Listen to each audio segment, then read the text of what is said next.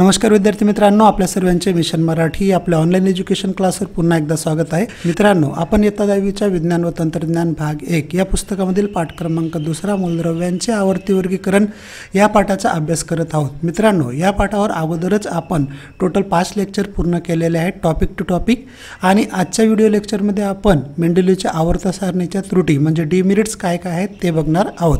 याच्या जस्ट मागच्या लेक्चरमध्ये मेंडलीच्या आवर्त सारणीचे गुण म्हणजे मिरिट्स हे काय काय काय होते ते आपण बघितलेलं आहे मित्रांनो. ओके? तर मित्रांनो आजच्या लेक्चरमध्ये आपण मेंडोलीच्या आवर्त सारणीच्या काय काय त्रुटी होत्या ते मी तुम्हाला अगदी सोप्या भाषेत समजून सांगणार आहे. म्हणून हा प्रश्न तुमचा कन्फर्म करून घेण्यासाठी किंवा हा प्रश्न व्यवस्थित समजून घेण्यासाठी तुम्हाला आजचा व्हिडिओ पूर्ण बघायचा आहे. मित्रांनो हा सेम प्रश्न तुम्हाला दोन ते चार मार्कांसाठी डायरेक्टली विचारला जाऊ शकतो की मेंडोलीच्या आवर्त सारणीच्या त्रुटी कोणकोणत्या होत्या ते सांगा. विद्यार्थी मित्रांनो लेक्चरला सुरू करण्याच्या अगोदर थोडं मागे जाऊया. मूलद्रव्यांचे वर्गीकरण करण्याचे बरेच शास्त्रज्ञांनी प्रयत्न केला. त्याच्यापैकी हे आपले तिसरे शास्त्रज्ञ होते. पण पहिले दुसरे आणि हे तिसरे शास्त्रज्ञ तिघांनी देखील मूलद्रव्यांचे गुणधर्म हे त्याच्या अणुवस्तुमानांकाचे आवृत्ती फल असतात ह्याच कॉन्सेप्टला धरून मूलद्रव्यांचे वर्गीकरण करण्याचा प्रयत्न केला.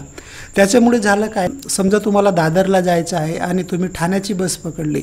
म्हणजे तुम्ही टुवर्ड द मुंबई तर जात आहेत पण परफेक्टली दिलेल्या जागे जागेवर जात नाही आहेत त्याचप्रमाणे ह्या तिघांनी देखील प्रयत्न तर खूप चांगले केले. त्याच्यातल्या त्याच्यात मेंडेलिव्हने खूप छान प्रयत्न केले. तरी याने देखील मूलद्रव्यांचे गुणधर्म हे त्याच्या अणुवस्तुमानांकांचे आवृत्ती फल असतात याच कॉन्सेप्टला धरून वर्गीकरण करण्याचा प्रयत्न केला. त्याच्यामुळे हवे तेवढे सक्सेस त्याला तिथं भेटलेलं नाही. चला तर मित्रांनो आता मूळ लेक्चरकडे वळूया.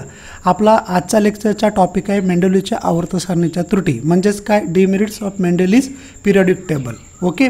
मग ह्या मेंडेलिव्हने एवढ्या चांगल्या प्रकारे मूलद्रव्यांचे वर्गीकरण करण्याचा प्रयत्न केला तरी देखील त्याच्यात काही त्रुटी राहिल्या. त्या त्रुटी आजच्या घडीला आपल्याला समजून घ्यायच्या आहेत. सर्वात पहिली त्रुटी ही आहे मित्रांनो ॲज इट इज लक्षात असू द्या. कोणती आहे? की कोबाल्ट व निकेल. कोण कोण? कोबाल्ट व निकेल. या मूलद्रव्यांचे पूर्णांकी अणुवस्तुमान समान असल्याने त्यांच्या क्रमाबद्दल मेंडोलीच्या आवर्तसारणे संदिग्धता आहे. आता संदिग्धता म्हणजे काय? कन्फ्युजन गैरसमज किंवा मिसअंडरस्टँडिंग किंवा लॅक ऑफ नॉलेज ओके इथपर्यंत क्लिअर आहे? झालं काय? मूलद्रव्यांचे वर्गीकरण करत असताना हा जो आपला कोबाल्ट आहे याचा अणुवस्तुमानांक किती आहे? तर fifty eight point nine three बरोबर? आणि हा जो आपला निकेल आहे त्याचा अणुवस्तुमानांक किती आहे? Fifty eight point six nine बरोबर? तर कोबाल्ट व निकेल या दोघांचे अणुवस्तुमानांकाचे पूर्णांक संख्या जर आपण बघितली ही फिफ्टी एट आणि याची देखील फिफ्टी एट तर दोघांची पूर्णांक संख्या सेमच आहे.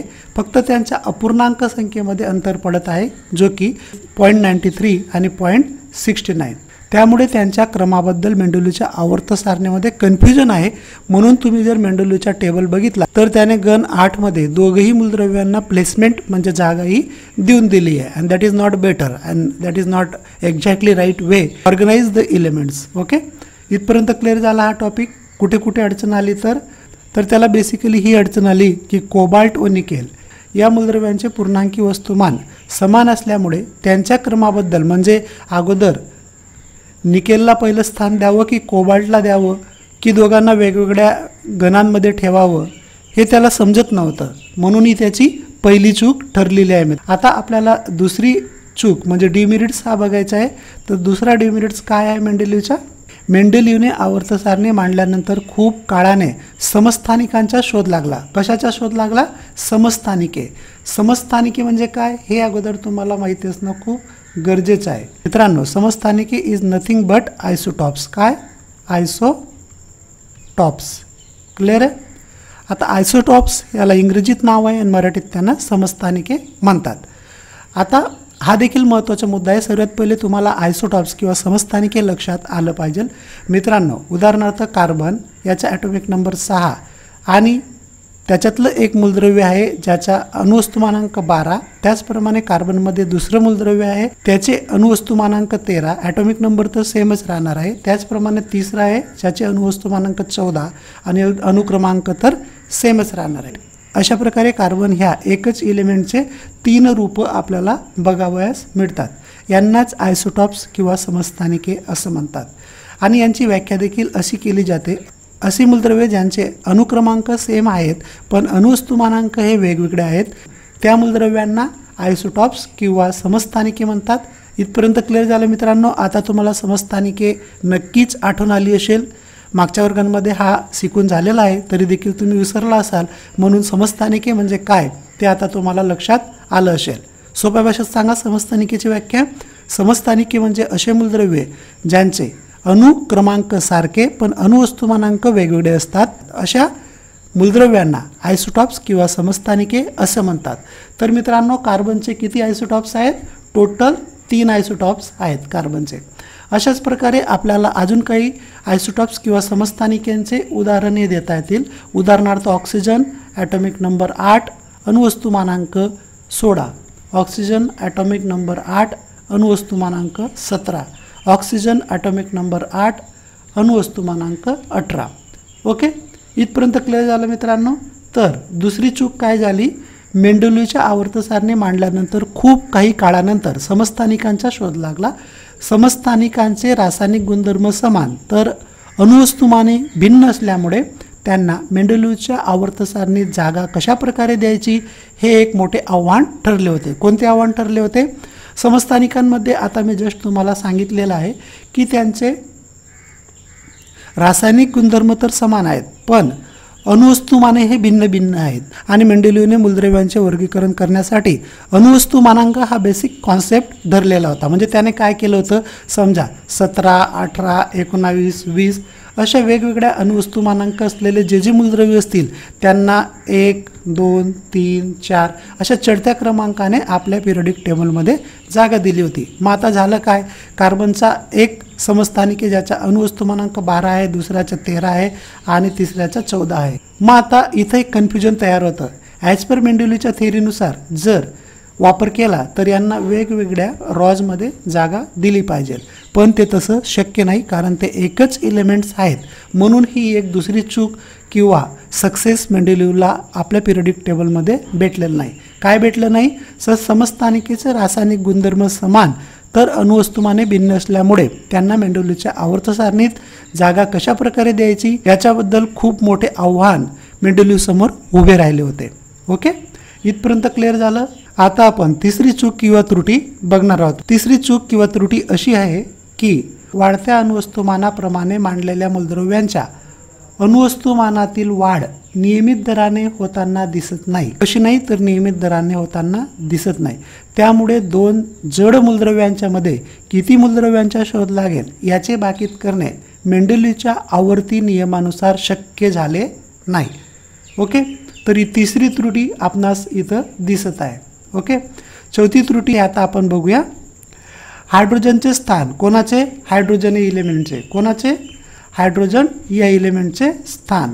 हायड्रोजन हा हॅलोजनांशी म्हणजे गण सातव्या मूलद्रव्यांशी सामर्थ्य दर्शवतो म्हणजे सारखेपणा दर्शवतो. जसे की हायड्रोजनचे रेणूसूत्र एच टू काय आहे? एच टू आहे. तर फ्लोरीन क्लोरीन ब्रोमीन इत्यादी मूलद्रव्यांचे रेणूसूत्र देखील F two C L two अशी आहेत. तसेच हायड्रोजन व अल्कधातू म्हणजे गण एक यांच्या रासायनिक गुणधर्मामध्येही सामर्थ्य म्हणजे सारखपणा दिसून येतो.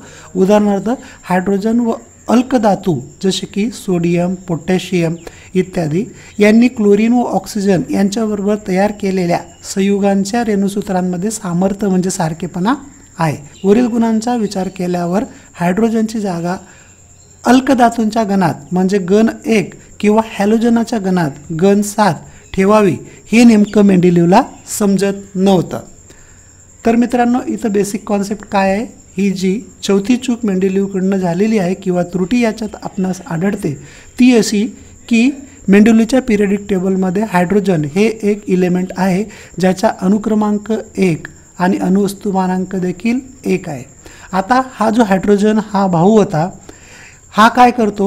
गण एक म्हणजेच अल्कली मूलद्रव्यांबरोबर. कोणते कोणते मूलद्रव्य? Sodium potassium. यांच्याबरोबर देखील सारखेपणा दर्शवतो. त्याचप्रमाणे तो काय करतो? हॅलोजन्स म्हणजे गण सातमध्ये जे मूलद्रव्य आहेत जसे की फ्लोरीन क्लोरीन ब्रोमीन आयोडीन यांच्याबरोबर देखील सारखेपणा दर्शवतो. मग हा हायड्रोजन नेमका गण सात हॅलोजन फॅमिलीत ठेवायचा की गण एक? अल्कधातूंच्या गणात ठेवायचा. हे नेमकं मेंडेल्यूला समजत नव्हतं. ही देखील मेंडेल्यूच्या आवर्तसारणीत मोठी चूक आहे हे आपणास लक्षात येतं. आणि ते आपणास पुढील ह्या टेबलावरून अजून व्यवस्थितरित्या समजता येतं. मित्रांनो बघा हायड्रोजनची संयुगे कोणते आहेत? H C L H two O H two S hydrogen sulphide इत्यादी. मग हा हायड्रोजन जो आहे तो अल्कली मूलद्रव्यांसारखंच बिहेवियर करतो. जसं की अल्कली मूलद्रव्य सोडियम हा N A C L N A two O आणि एन ए टू एस म्हणजे सोडियम क्लोराईड सोडियम ऑक्साईड आणि सोडियम सल्फाईड अशी संयुगे तयार करतो. इथं एक सामर्थ्य तो दर्शवतो. त्याचप्रमाणे दुसऱ्या ठिकाणी वेगळं सारखेपणा कोणाबरोबर दर्शवतो? तर हायड्रोजन व हॅलोजन यांच्यामधील सारखेपणा. बघा हायड्रोजनचे रेणुसूत्र एच टू आहे. त्याचप्रमाणे क्लोरीन देखील सी एल टू असं रेणूसूत्र तयार करतो. हायड्रोजन धातूंबरोबर सोडियम हायड्रॉक्साईड सोडियम क्लोराईड असे मूलद्रव्य तयार करतो. तर अधातूंबरोबर मिथेन म्हणजे सी एच फोर आणि C C L four carbon tetrachloride असे संयुगे तयार करतो. क्लिअर आहे मित्रांनो? म्हणजे हायड्रोजनचे ड्युल बिहेवियर म्हणजे वेगवेगळ्यापणाचे गुणधर्म किंवा वेगवेगळ्या प्रकारची वागणूक ही मेंडेल्यूला व्यवस्थितरित्या जस्टिफाय करता आली नाही म्हणून ही देखील त्याची एक त्रुट म्हणजे कमी ठरत आहे. क्लिअर आहे मित्रांनो? चला थोडंसं तुम्हाला डीपमध्ये सांगू इच्छितो. आता हायड्रोजन एस सी एल हे संयुग कसं तयार करतं? हायड्रोजनचा ॲटॉमिक नंबर एक म्हणून त्यांच्या आउटरमोस्ट सेलमध्ये एक इलेक्ट्रॉन असतो बरोबर? क्लोरीनचा ॲटॉमिक नंबर सतरा म्हणून त्याचे इलेक्ट्रॉन स्वरूपण कसं होईल? दोन आठ. दहा झाले आणि लास्ट सेलमध्ये सात.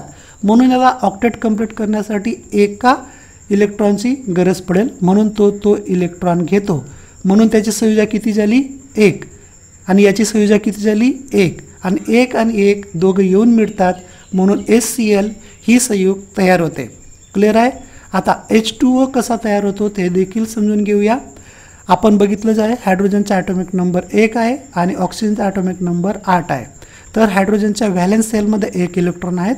तर ऑक्सिजनच्या व्हॅलेन्स सेलमध्ये किती असतील ते बघूया. दोन आणि सहा. आठ झाले. आता आउटरमोस्ट सेलमध्ये सहा इलेक्ट्रॉन आले तर याला ऑक्टेट कंप्लीट करण्यासाठी दोन इलेक्ट्रॉनची गरज पडते. मग काय झालं मित्रांनो? हायड्रोजनची संयुजा एक झाली आणि ऑक्सिजनची संयुजा ही इलेक्ट्रॉन संयुजा ही दोन झाली. म्हणजे काय करतो? ऑक्सिजन हायड्रोजनचे दोन इलेमेंट घेईल तेव्हा कुठे त्याचा ऑक्लिट ऑक्टेट कंप्लीट होईल. म्हणून एच टी ओ हे संयुग तयार होतं. अशाच प्रकारे hydrogen sulphide sodium oxide sodium chloride methane C H four C C L four carbon tetra chloride हे संयुगे कसे तयार होतात ते तुम्ही स्वतः प्रॅक्टिकल करून बघा. आणि ज्यांना ज्यांना येत असेल ज्यांना ज्यांना सक्सेस भेटलं हे समजून घेण्यामध्ये त्यांनी मला कॉमेंट बॉक्समध्ये नक्की शेअर करा. मित्रांनो मी तुम्हाला खूप चांगल्या प्रकारे समजवण्याचा प्रयत्न करत असतो. ज्यांना कोणाला हे आपले लेक्चर्स आवडत असतील त्यांनी प्लीज लाईक करण्यास विसरू नका कारण तुमच्या लाईकमुळे मला पुढचा व्हिडिओ बनवण्यासाठी खूप जास्त प्रेरणाही भेटत असते. आणि ज्यांनी कोणी आपले चॅनल सबस्क्राईब केलं नसेल त्यांनी चॅनलला आज सबस्क्राईब करून घ्यावं. याच्यामुळे पुढील रेग्युलर लेक्चरचे अपडेट तुम्हाला भेटत राहतील. तर मित्रांनो आजच्या लेक्चरमध्ये आपण काय शिकलो?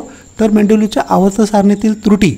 मेंडुलीने आपल्या आवर्त सारणी म्हणजे पिरियडिक टेबलचे वर्गीकरण म्हणजेच मूलद्रव्यांचे वर्गीकरण करत असताना कोणकोणत्या चुका किंवा कोणकोणते फेल्युअर त्याला अनुभवावे लागले ते आज खूप चांगल्या प्रकारे मी तुम्हाला शिकवण्याचा प्रयत्न केलेला आहे. चला एकदा रिव्हिजन करून घेऊया शॉर्टमध्ये तर कोणकोणत्या त्रुटी आहेत? कोबाल्टला अगोदर स्थान द्यावे की निकेलला हे त्याला व्यवस्थित समजत नव्हतं. दुसरी चूक काय आहे? समस्थानिकांचा शोध लागला ज्यांचे अणुवस्तुमानांक ऑब्विसली वेगवेगळे असतात. मग त्यांना आता एकाच ठिकाणी स्थान द्यावे की चढत्या क्रमाने वेगवेगळ्या रकान्यात जागा द्यावी हे त्याला समजत नव्हतं. त्याचप्रमाणे वाढत्या अणुवस्तुमानाप्रमाणे मांडलेल्या मूलद्रव्यांच्या अणु वस्तुमानामधील वाढ नियमित दराने नसल्यामुळे दरम्यानच्या संशोधित इलेमेंट्सला कुठे जागा द्यावी हे त्याला व्यवस्थित समजत नव्हतं. चौथा महत्त्वाचा मुद्दा म्हणजे हायड्रोजनला अल्कली गण एक की हॅलोजन्स गण सात मध्ये जागा द्यावी हे त्याला क्लिअर नव्हतं.